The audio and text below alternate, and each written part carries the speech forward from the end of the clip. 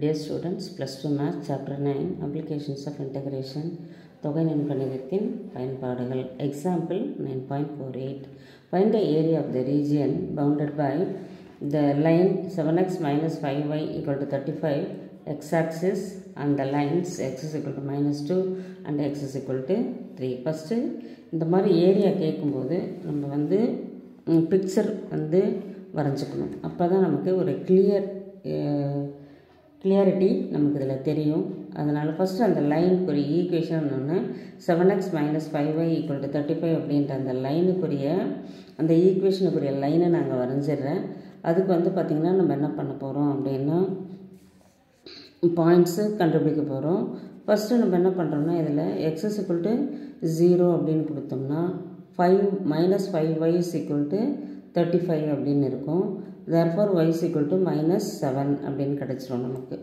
இப்போ இந்த minus seven அந்த பாயிண்ட் வந்து பார்த்திங்கன்னா ஜீரோ கமா மைனஸ் செவன் ஒரு பாயிண்ட்டு அதுக்கு அடுத்தது X is equal to three அப்படின்றத பேரலல் டு இந்த எக் த்ரீ எக்ஸில் த்ரீக்கு அதாவது எக்ஸ் ஆக்சிஸ்க்கு பெர்பண்டிகுலராக ஜீரோ ஆரிஜின்லேருந்து ஒரு த்ரீ யூனிட்ஸ் வந்து எடுத்து நம்ம ஒரு லைன் பர்பண்டிகுலர் லைன் எக்ஸ் வரைகிறோம் அது பேரலல் டு ஒய் ஆக்சிஸாக இருக்கும். அது இப்போ எக்ஸஸ் ஈக்குவல் டு மைனஸ் டூவும் நம்ம பேரலல் டு ஒய் ஆக்சிஸ் வரையும் போது அது பர்பண்டிகுலர் டு எக்ஸ் ஆக்சிஸாக இருக்கும். அதுக்கப்புறம் இந்த லைனுக்கு இது ஒரு பாயிண்ட்டு தெரியும். அப்புறம் இந்த பாயிண்ட்டு வேணும்னா நம்ம என்ன பண்ணணும்னா Y is equal to zero கொடுக்கணும். Y is equal to zero கொடுத்தோம்னா seven X is equal to thirty ஃபைவ்னு வரும். அப்போ எக்ஸஸ் ஈக்குவல் டு ஃபைவ் அப்படின்னு வரும். இங்கே வந்து நமக்கு ஜீரோ கமா ஃபைவ் வந்துடும் இப்போ இந்த இந்த பாயிண்ட்டையும் இந்த பாயிண்ட்டையும் ஜாயின் பண்ணி அதை வந்து ஸ்ட்ரைட்டன் பண்ணிடணும் ரெண்டு பக்கமும். ஸ்ட்ரைட்டன் பண்ணிவிட்டு X is equal to minus டூவையும் X is equal to three அப்படின்ற ஒரு லைனையும் அது என்ன எங்கே இன்டர்செக்ட் ஆகுது அப்படின்ட்டு பார்க்கணும். இங்கே இங்கே இன்டர்செக்ட் ஆகுது. இப்போ இந்த லைனோட இந்த லைனு இந்த லைனு இந்த லைனு எக்ஸ் ஆக்சிஸ் இது எல்லாத்தையுமே கவர் பண்ணுற ஏரியா தான் இப்போ நம்ம கண்டுபிடிக்கணும். இது பிலோ இந்த ஏரியா வந்து பிலோ எக்ஸ் ஆக்சஸ் இருக்கிறதுனால நம்ம ஏரியா கண்டுபிடிக்கிறதுக்கு ரெக்கார்டு ஏரியா அப்படின்னு போட்டுட்டு மாடுலஸ் போட்டணும் ஏன்னா வேல்யூ வந்து மைனஸில் வரும்.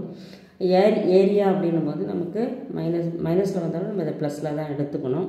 அதனால் modulus of minus two to three இங்கே வந்து பார்த்திங்கன்னா அந்த லிமிட்ஸ் எங்கேருந்து பார்த்தீங்கன்னா மைனஸ் டூ டு த்ரீ இருக்குது அதில் two two three Y DX அப்படின்னு எழுதிக்கிறோம்.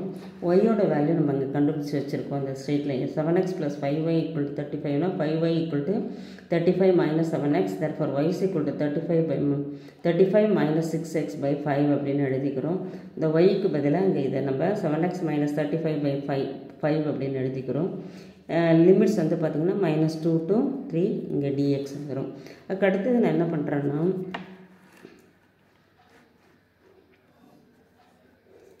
இந்த செவனை வந்து காமனாக நான் வெளியே எடுக்கிறேன் செவனை காமனாக வெளியே எடுத்தேன்னா எக்ஸ் மைனஸ் ஃபைவ் பை ஃபைவ்னு கிடைக்கும் இன்ட்டு டிஎக்ஸ் இருக்கும்.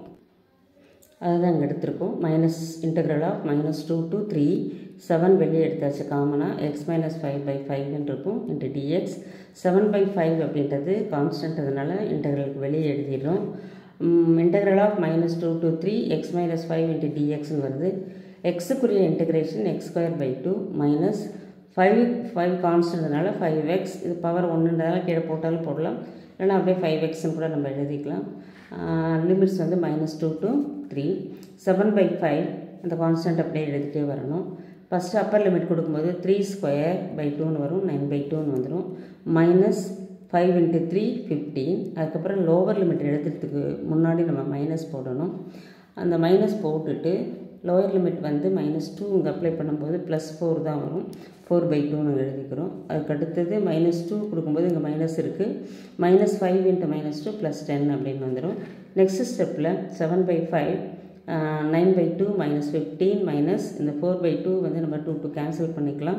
அப்போ டூ ப்ளஸ் டென் வந்து டுவெல் இங்கே எழுதிக்கிறோம். வெளியே மைனஸ் இருக்குது அதனால் மைனஸ் டுவெல் இங்கே மைனஸ் ஃபிஃப்டீன் இங்கே நைன் பை டூ இருக்குது வெளியே வந்து செவன் பை ஃபைவ் இருக்குது which is equal seven by five nine by two இது ரெண்டுத்தையும் ஆட் பண்ணோம்னா மைனஸ் டுவெண்ட்டி செவன் அதுக்கடுத்த ஸ்டெப்பில் seven by five into nine minus இதை க்ராஸ் மல்டிப்ளை பண்ணோம்னா டுவெண்ட்டி செவன் இன்ட்டு டூ வந்து மைனஸ் ஃபிஃப்டி ஃபோர் பை டூன்னு வந்துடும் இது வந்து minus forty five by two அப்படின்னு இருக்குது இது எல்லாமே நம்ம மாடலஸ் போட்டுகிட்டே வரணும். நெக்ஸ்ட்டில் வந்து அதுக்கு அடுத்தது பார்த்திங்கன்னா இந்த ஃபார்ட்டி ஃபைவுக்கும் இந்த ஃபைவுக்கும் நம்ம கேன்சல் பண்ணும்போது இங்கே நைன் வந்துடும் நைன் செவன் சார் நமக்கு சிக்ஸ்டி த்ரீ அப்படின்னு தெரியும். இங்கே மைனஸ் இருக்குது minus seven into nine three minus sixty three by டூன்னு வரும். ஏரியா நமக்கு என்ன வரணும்? ரெக்கர்ட் ஏரியா மாடலஸில் வரணும். அதனால் ரெக்கர்ட் ஏரியான்னு போட்டு இந்த வேல்யூவை மாடலஸ்குள்ளே போட்டு minus sixty three by two is equal to sixty three by two square one eight அப்படின்னு எழுத வேண்டியது தான் தேங்க்யூ